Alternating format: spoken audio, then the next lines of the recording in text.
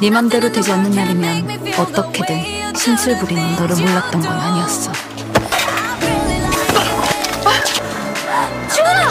주원아! 참았던 건 나한테는 너밖에 없다고 생각했으니까. 어, 저기 앉자.